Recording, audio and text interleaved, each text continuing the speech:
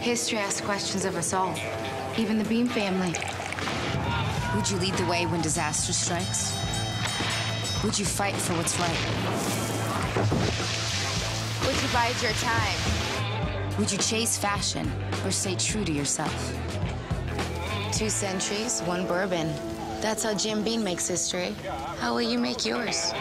Jim Beam, make history.